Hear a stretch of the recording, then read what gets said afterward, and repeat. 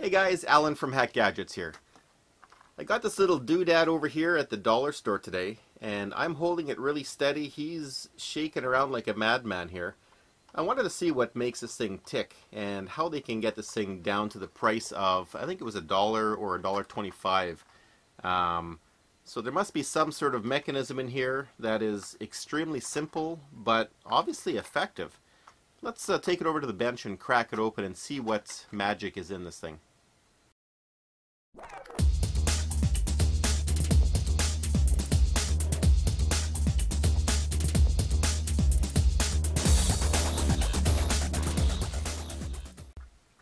Okay, here's the little guy dancing all by himself. Nothing's, uh, nothing other than the solar panel here is making him go.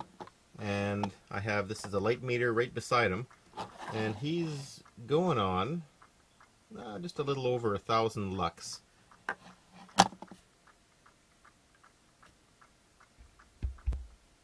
Okay, so I have a sheet of paper here. It's just uh, hovering over top of this, this little guy here and the light sensor. So we're sitting at around 120 lux, which is pretty dark and or pretty dim, and uh, he's not dancing. I'm just going to move the paper up slightly just to get that to increase. And let's see when he starts dancing. So he's at 200, 250. Oh, he's just wiggling now. 300, a little more. Let's get 400. There's 400. He's starting to go a bit better. There's 500. 550. Now, I'm not sure if there's a cap in there that's slightly charging. He seems to be getting a bit more energetic. Let me turn another light on here. It's about 600. It's getting better. I wouldn't say he's dancing yet, though, properly. There's 725. So at 830. There's 930. There's a thousand. Okay, so something's wrong here.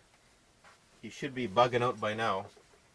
I think what's probably happening is he's probably there's probably a really crappy pivot point on there and he's probably just not on it. Oh, there he goes. And you can hear he's uh, I think he's pegging out some limits on there. Okay, so maybe there is a little cap in there that just took a while to charge up. But a thousand lux really looks like the sweet point for this guy to continue working. Let me just crank him down to uh, about 700. Well, there's 650 and he's still going strong.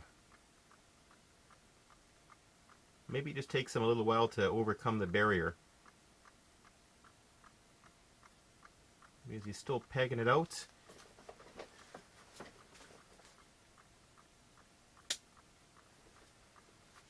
There's 550.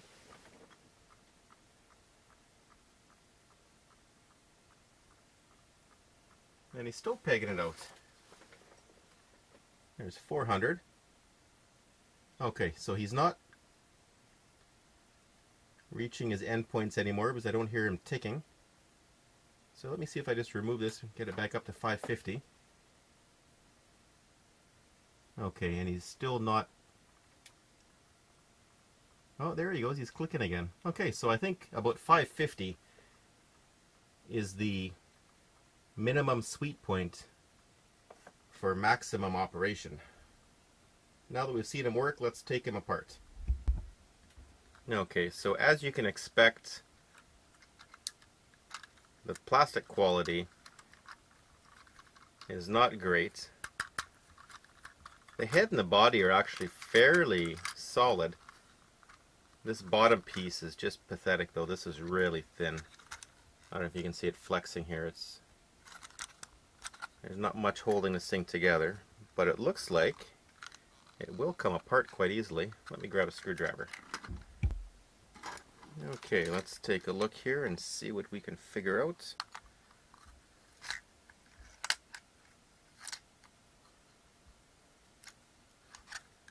So it looks like this is just press fit together.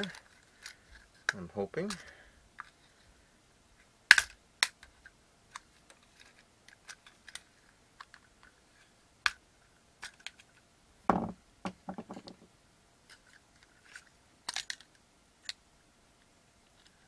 Okay, actually, there is some electronics in the bottom here. What do we have here? So the little photo cell that was in there has popped out. So this is just mechanics and a magnet. So with this magnet going back and forth, that makes him dance. And wow, so this magnet was actually swinging pretty far to make him dance that much. And this magnet actually weighs a little bit of, uh, has a bit of mass to it here. Okay, and what do we have on the inside? So we have some very thin wires that go from, and there is a capacitor on here. So here's the solar cell. And look at that. It actually has. So the solar cell comes over, gets connected to this board. Who makes a solar cell? It's, uh, oops, V-I-M-U-N. Vimun. And that comes over to this little tiny board. On the board, there's a blob of epoxy here, so obviously there is a chip on board there. And then, geez, I'm going to break this. And then from there, there's two very, very fine wires that run over to this quite nice coil. It's, uh, it's quite thick. It's about the thickness of a penny and not quite the diameter of a penny. But so there is a, there's a whole bunch of turns there and there's these two really thin leads that go from the circuit board over to that. Look at that.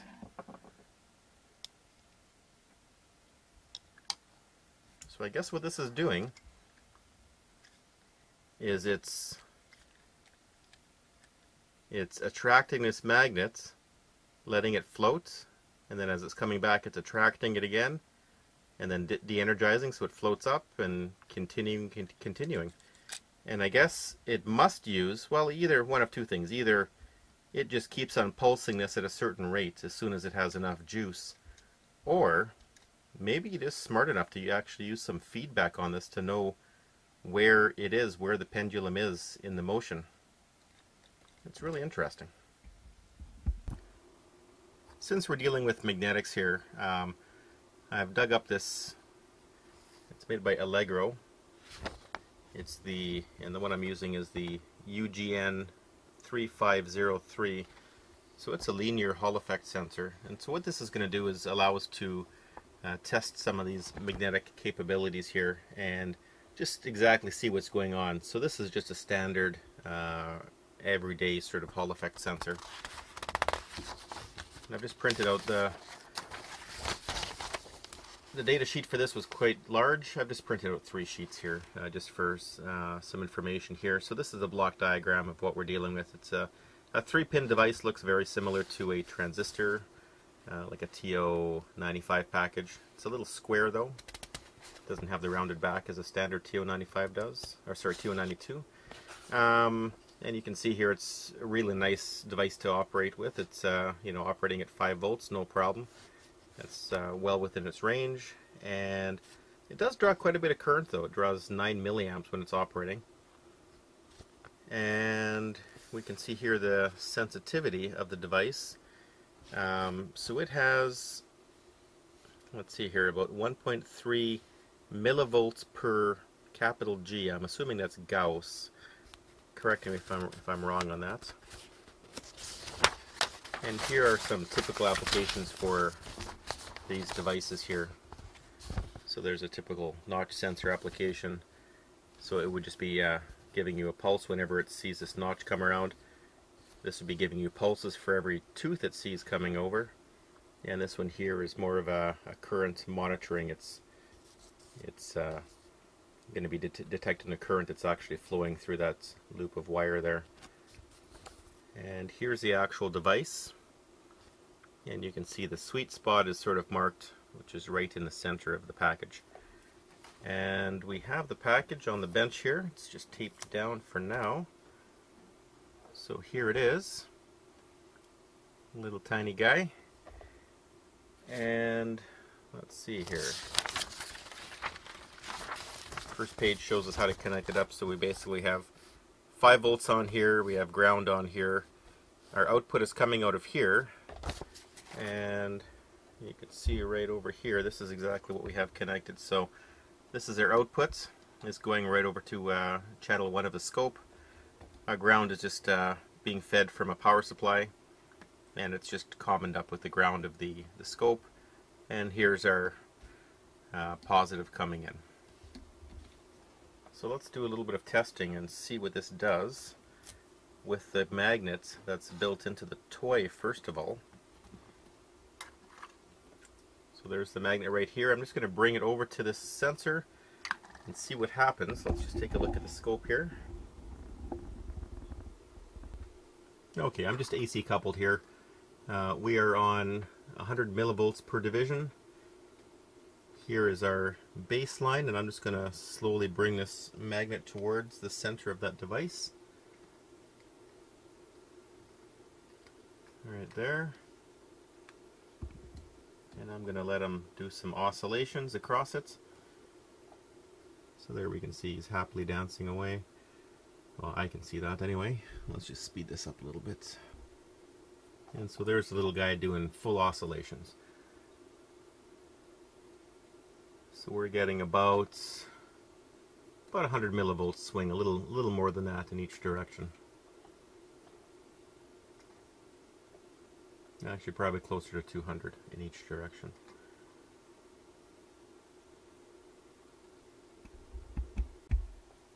Okay, so here we have the sensor taped directly on top of the coil. The photocell is in full sun. Our circuit is still intact here.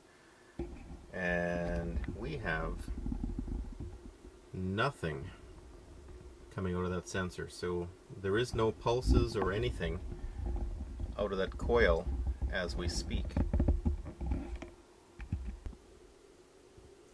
So the sensor is now taped to the bottom, uh, so it's just uh, separated by the little plastic base on this, and it's directly under the coil. And so since he's not sitting flat anymore, because the wires are sort of uh, putting us on a pretty good angle, you can actually see inside here now that the photocell is not there. Now it's kind of dark in there. Let me get some light in there. Okay, so you can see that there is a bit of an offset. I was thinking for some reason it would be centered, that coil would, be centered with the magnets, but it's not.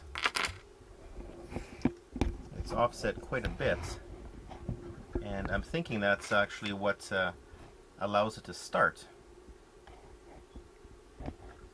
So what's happening here is occasionally you'll see it, it uh, since it's offset, it doesn't want to naturally rock back and forth, so it probably has a much more resistance than it's, it's used to.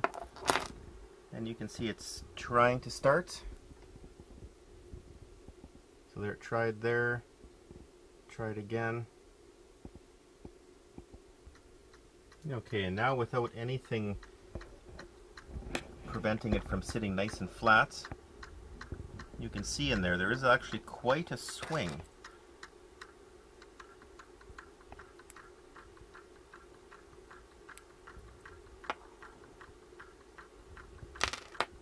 And let's see what our scope is doing here.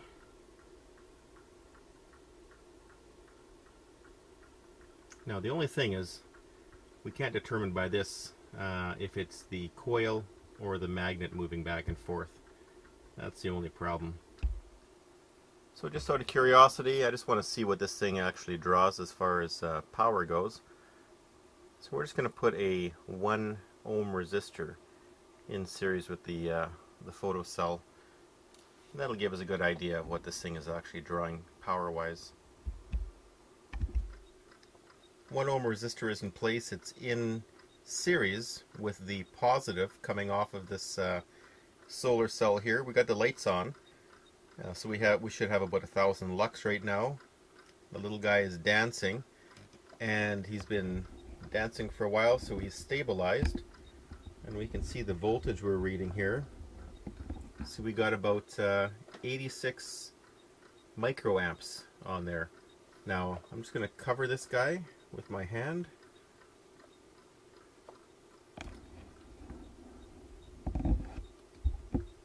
Okay, so he's he hasn't quite stopped. He's stopping. There, he's stopping now. And you can see our our current is basically nothing. There's probably just a little bit of uh, light leakage there. And then I'm going to remove my hand from the thing. And then we can see it goes up to about, uh, let's say 0.12 milliamps. And then it sticks around 0.1 milliamp or 100 microamps. And then stabilizes at around 85 or so. Now this isn't volts DC because we're meeting across that 1 ohm resistor, but nice thing about the 1 ohm resistor is the math works out that uh, voltage and current across there is the same. Well, it just goes to show that if you mass produce something, you can actually get a pretty impressive circuit sold on the retail shelves for like around a dollar. Pretty impressive. For more information, go to hackedgadgets.com.